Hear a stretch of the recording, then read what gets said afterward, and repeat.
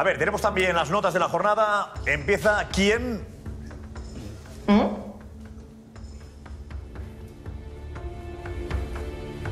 Yo me toco. Acción, por favor. Vamos ya. La cámara ha enfocado muy bien. Claro, es la cámara, la cámara decidía. Bien, muy bien. Eh, fuera de la matización del Atlético, que ahora lo comento porque hay motivos, vamos al tema. Eh, he decidido poner un punto a algo muy reivindicativo. Reivindicativo por muchas razones. Cambio de entrenador, un gran club, un grande. Yo realmente el grande dentro de ese equipo de la, de la era eh, Prandelli ha sido Cancelo. Ha hecho un auténtico partidazo, triunfo merecido, trabajado. Y realmente este jugador me ha sorprendido. Ha hecho un partido fuera de lo común y creo que este punto tiene dos valores. Uno en la parte reivindicativa y otro futbolísti- futbolísticamente. Y victoria para el Valencia, que es importante que el Valencia está ahí y empieza a creérselo. ¿eh? Exactamente. Ojalá funcione el Valencia. Meritorio. Más. Vamos a dos.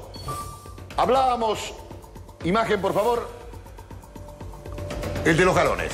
Jugador importante. Este jugador es capaz, ha sido capaz de que las notas en el pentagrama atlético llamado Simeone jueguen, pero jueguen de una manera armónica.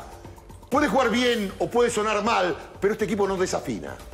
Puede faltar los violines, un día toca el bombo. Pero este hombre ha cogido el de varios. Este hombre había nacido con un bombo y ha crecido de la mano de Simeone. Todo es posible y este es el mérito de este crack. Vamos al tercero. Ver, Edu, y el bombo no ha sonado. Esto no es el bombo. Si quieres volvemos, pero... Eh, si puedes volver, sí, meto un bombo como Sí, este. ¿eh? es bueno, es Mira, bueno. ahí. La, Vale, la vale, metáfora vale. me Venga. encanta. Sí, así, así, ponlo, ponlo un poquito.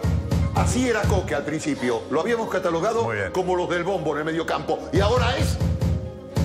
El violín, por favor. No, violín, por favor, Edu. Era un cambio del bombo al violín, Edu.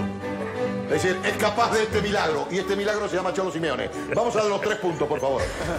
Por favor, adelante. Gracias por volver. Volvió. Volvió. Volvió y es otra. Claro. Te necesitábamos. Decíamos, ¿qué pasaba? ¿Qué pasaba? Pasaba que no estaba. ¿Y qué pasa? Se rompen las líneas, se llega tarde, hay agujero entre líneas.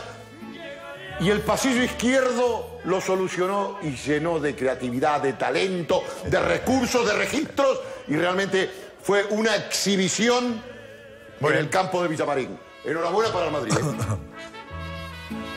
Voy. La cámara para Álvaro, por favor. Ahí está. ¿Habéis Hoy no, hoy no, hoy no ¿Estáis coincidimos en ninguno. ¿En ninguno? En ninguno que no. Porque tú supongo que habrás puesto a Neymar. A ver, Pues atención. no, Silencio, pero venga, va. con un punto. Rafinha, creo que una actuación muy meritoria. Muy hizo bien. los dos goles, los más importantes, que son los que abrieron el marcador. Dos goles con la pierna menos hábil, que hay que tenerlo en cuenta también. Creo que aprovechó su oportunidad y esta jornada he optado por, por los goleadores más que por los generadores de juego. Muy que he bien. visto a Jorge que se ha decantado por ahí. Rafinha bien. Con dos puntos, gran partido también, hizo dos goles. Isco tenía un examen, quizá uno, de, uno muy importante para él, más importante de la temporada, tenía la oportunidad para reivindicarse, aprobó con nota, hizo dos goles, eh, uno culminando una contra espectacular y otro con una definición a la altura de los mejores, poniéndola a la escuadra. A Varane porque marcó el primero. Y con tres, Carrasco. Me parece una bestia este jugador. A mí siempre me han encantado este perfil de jugadores que, que encaran, que van al espacio, que potentes, que tienen disparo con las dos piernas. Hizo tres goles magníficos. Creo que está, que está dando ese salto de calidad que le ha pedido el Cholo, que creo que tiene fútbol para ello y que puede ser un jugador top. Muy bien. Muy bien, Álvaro. Eh, tenemos cómo va. Se saludan ahí, ¿ves? Los contrincantes. Sí, sí. Eh, tenemos cómo queda la, la puntuación, cómo va. Digo, Bueno, el control Borja Mazarro está sumando ahora la puntuación. no ha repetido nadie. No ha repetido nunca. Yo creo que no ha repetido nadie nunca. O nadie, ¿es verdad? Sí, sí, sí. No, no.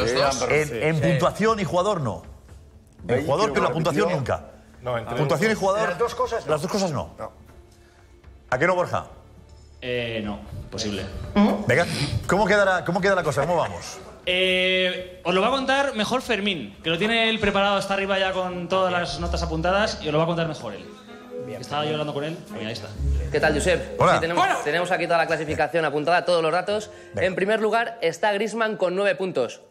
En segundo lugar están empatados tres jugadores. A ver, un momento, Messi, a ver, un momento, a ver. ¿Griezmann es el más votado por el tándem Benito de Alessandro? correcto, sí, nueve puntos. Griezmann, el mejor. De, ¿Vale? mo- de momento va líder en la clasificación. Me gusta que se está quedando bien esta, este- este- esta sección, ¿eh? A ver, seguimos. en segundo lugar eh, hay empatados tres jugadores. Messi, Modric y Diego Alves con siete puntos. Messi, Modric y Diego Alves. Con siete puntos, sí, correcto. Y en tercer lugar, bueno, estaría el Zar de Las Palmas con seis puntos. En tercer lugar sería. eh, Bueno, el tercer Bueno, lugar tercer sería el sexto, Tercer casi. escalón. Eh, En el tercer escalón estarían. Sí. Eh, el Zar con seis puntos.